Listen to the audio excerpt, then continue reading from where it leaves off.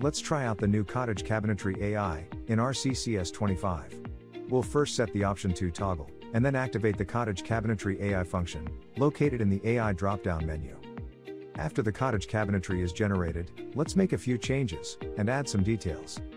Activate the Revit wall by face function and select the side and front faces of the bulkhead. These walls will be used to host a crown molding detail. Next, we'll convert the RCCS bulkhead component into a void and activate the new crown molding function, located under the miscellaneous dropdown. There are 12 preset molding profiles to choose from in RCCS 25. Click on each of the three host walls to place the crown molding detail.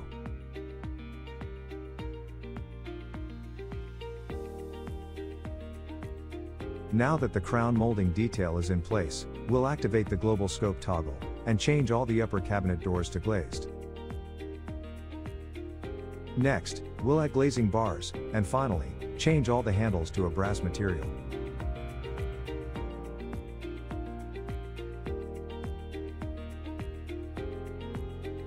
RCCS 25 now has 10 different AI functions to choose from, covering most of your cabinetry needs.